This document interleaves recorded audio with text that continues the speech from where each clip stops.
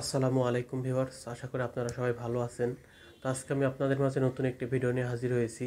তো আজকে আমি আপনাদের দেখাবো যে মোবাইল দিয়ে কীভাবে ফেসবুক অ্যাকাউন্ট খুলবেন। তো চলুন দেরি না করে শুরু করা যাক।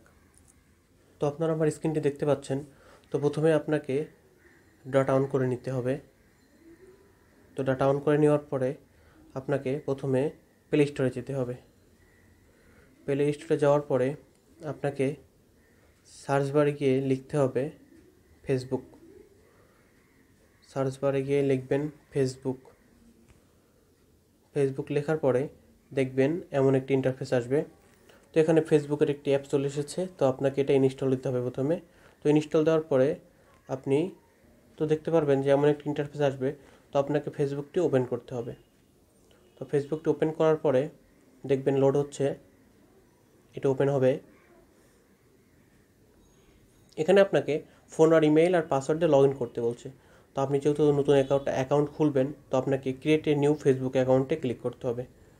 করার পরে দেখবেন যে এমন একটি ইন্টারফেস আসবে, তো তখন আপনাকে নেক্সট করতে হবে।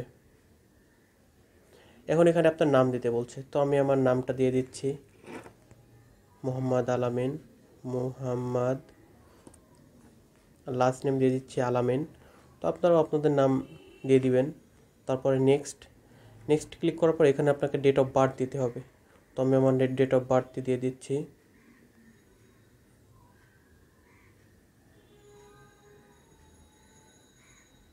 তো আপনারা আপনাদের ডেট অফ বার্থ দেবেন।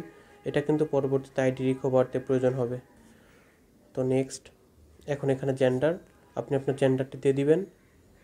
তো এখানে মোবাইল নাম্বারের কথা বলছে। তো মোবাইল নাম্বার আমি দিয়ে দিচ্ছি। আমি আমার মোবাইল নাম্বারটি দিয়ে দিলাম। তো দিয়ে দেওয়ার পরে এখানে একটি পাসওয়ার্ডের কথা বলছে। তো আপনারা আপনাদের ইচ্ছা মতো পাসওয়ার্ড দিতে পারবেন। তো আমি পাসওয়ার্ড দিচ্ছি।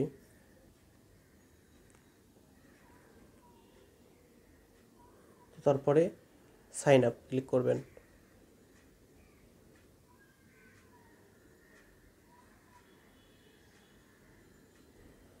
সাইন আপে ক্লিক করলে দেখবেন যে এখানে লেখা আসবে যে ক্রিয়েটিং ইওর অ্যাকাউন্ট। আপনার অ্যাকাউন্টটি তৈরি হচ্ছে। তো এখানে একটি লাইক বাটন দিয়ে দিয়েছে। সাইন ইন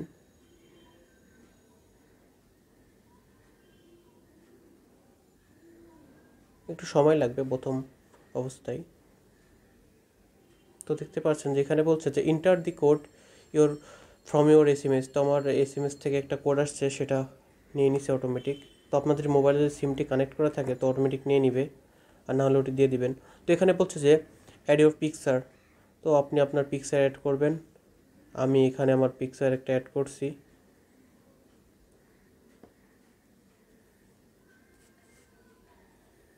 আমার এখানে অবশ্য খুব একটা বেশি ছবি নেই। আমি তারপরে একটা ছবি অ্যাড করছি।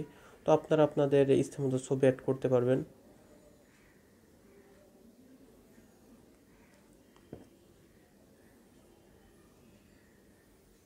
তো আমি আমার একটি ছবি অ্যাড করেছি।